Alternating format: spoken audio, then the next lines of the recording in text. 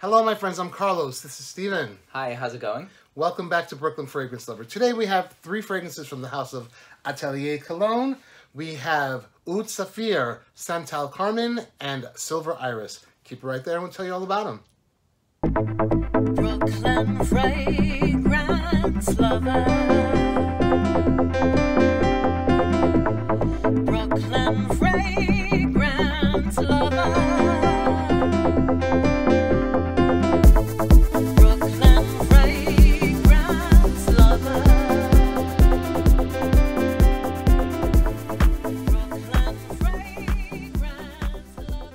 Atelier Cologne is a house that Steve and I both love. We own many from the house. We sure do. I have Sure do. quite the library, as do you over there that I see. Yeah. They were launched in 2010, Mm-hmm. and they now have in 2018 37 fragrances. Wow. Very busy at work. They specialize in citrus and fresh citrus. They- definitely citrus and other notes. They have several collections. They have different price ranges. We were just at an event last week. That was a lot of fun, hosted by the Fragrance Foundation, and the owners were on a panel mm-hmm. with their perfumer who they use often. His name is Jerome Epinette. Mm-hmm. And Superstar nose Ann Gottlieb was the moderator. It was a fun night. Anyway, at one point they said that their most popular selling fragrance is Orange Sanguine. Mm-hmm. And their next one is California Clementine. Wow. So people like their citrus. Yeah. People definitely like their citrus. Some people find some of their longevity maybe a little questionable, Okay. but they're meant to be sprayed lavishly and repeatedly throughout the day. That's why they offer those 200 ml bottles. And uh, I don't have a problem with them because they're just so enjoyable overall. I don't mind respraying, especially with Atelier Cologne. Yeah, that's true. So they did kind of pioneer their own genre, and a lot of that was inspired by the fact that a lot of eau de cologne fragrances really just didn't last. And so instead of taking a pyramid structure, they uh, created what's called an hourglass, where there's a lot of citrus in the opening, very few mid notes, but then also a lot of base notes to sort of prolong the longevity of the fragrance.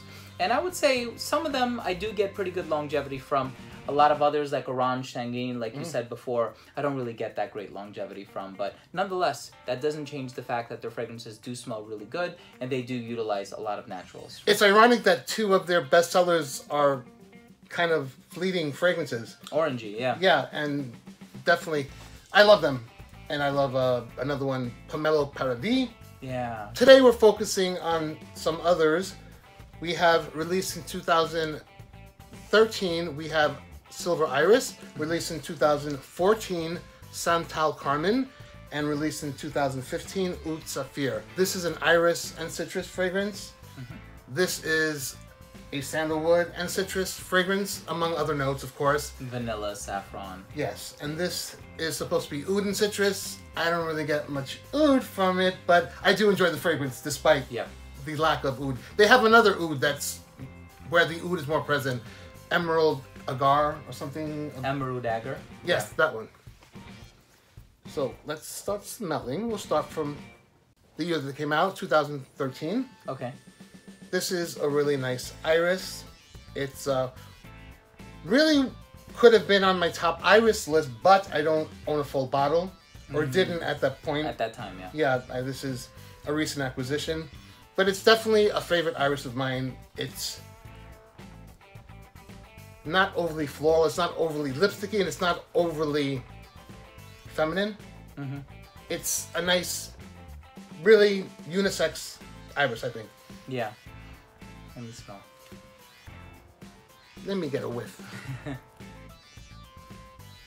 So I do think it has that lipsticky vibe. Like When you I said, just I said I don't think it's overly lipsticky. You got a lipstick? Let me see. For this one, I do. Yeah, I don't think it's overly lipsticky though, like you said. Um, it's not like a Yeah, Masque okay. Milano's Yeah. L'Attesa or anything like that. Like Dior Homme, as much as we love it, that's really lipsticky. it is, yeah, it is. So not quite lipsticky. here. Yeah, I don't get much sweetness from this either. I do get a freshness about it. I don't get citrus per se, but it's because it was pre-sprayed, so a lot of the citrus is ephemeral. But for an iris base scent, this is really nice. Let's Very talk about easy the to wear. opening. Yeah, let's do that if we can. Absolutely, my friend.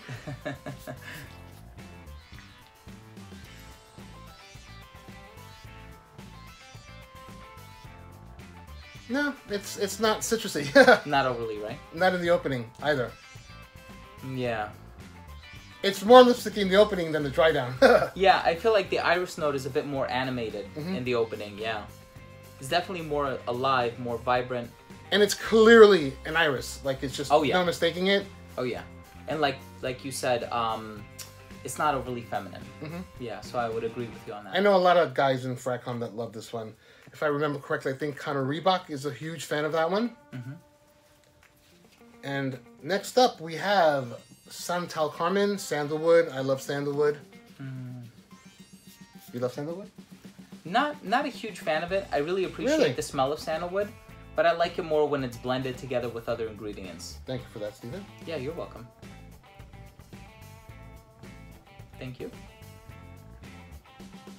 Mm. So it has a little bit of saffron in there, Mm-hmm. and Again, it adds a nice spicy touch. I, I didn't get much citrus in that opening. No, me neither. If anything, maybe bergamot because there's nothing like that smells distinctly of Mhm. like grapefruit or orange or anything like that. Lemon, lime, grapefruit, yeah, orange, exactly. tangerine. and I do get a little bit of the vanilla in there too. The Mhm. sandalwood is definitely in there. It's present. It comes across loud and clear. But it also has the spicing nuances to keep it interesting. I think a good descriptive word for this one would be creamy. I like Mm-hmm. Yeah, creamy sandalwoods, and that's a creamy sandalwood. yeah, it definitely is. Not my favorite from the bunch, Mhm. but I appreciate what it does. Cool beans. Fair enough. At least you're giving me a chance. Yeah. At the end, you'll tell me which is the uh, favorite one. Okay, sure. Now, this one has a reputation for having a strong similarity to Tuscan leather. Mhm. I got citrus in that opening, don't you? In that first spray. Yeah, this one's definitely fresh. I definitely get a lot of that leather. I was looking online that has like agarwood and birch and Ivorwood. Mm-hmm. It's called Oud Saphir, but I personally didn't get too much oud from that one. Yeah, no, neither do I. I think it's more about the leather. Mhm. But uh, it's a little spicy, a little peppery. It has that leather note in there. And it's bright. You know what I mean? Yeah, It's um, it's a bright fragrance. yeah, yeah, I agree. Yeah, it's not dull in any way. And the citrus really, you know, awakens it in the opening. I think this one is an interesting scent, and if I had to pick a favorite, it would definitely be this one. But the clause being that I just don't know if I would rather wear this or Tuscan leather, and I have a feeling that I would prefer to wear Tuscan leather. Okay. But I think it smells awesome. So of these three, that one is your favorite. Yeah. But you yeah, don't know that you pick it over Tuscan leather. Correct. My favorite out of these three is the uh, Santal Carmin, Mmm. followed very closely by this and that. I, Oh, wow. I, I, I enjoyed them all, honestly. Yeah. So thank you very much for joining me on this. This You're was welcome. fun. My pleasure. I hope you guys enjoyed. You always tell us that you enjoy when we're together, so we do it often as much as we can. We appreciate the kind words. Thank you. I would love to give one of these to one lucky subscriber. All you have to do is subscribe to Brooklyn Fragrance Lover, subscribe to Mr. Redolessence, Thank you. Like this video, then leave one comment down below with what your favorite Atelier Cologne is. If you're new to this channel, please do consider subscribing. If you haven't a subscriber, click on the bell icon so you don't miss notifications on new reviews, new content, giveaways, buddies, beautiful ladies, and all the free fun always happening right here at BFL. Take care, stay blessed, and I'll see you at the next review. Bye. If you're new to this channel, please do consider subscribing. If you haven't a subscriber, click on that bell icon so you don't miss notifications in your feed of new reviews, new content. My flow got ruined. I ruined it. Because you wanted to switch it up. Yeah, I, bit, I right? messed it Uh-huh. up. Happens to me too. If you're new to this channel, please do consider subscribing. If you haven't a subscriber, click on that bell icon to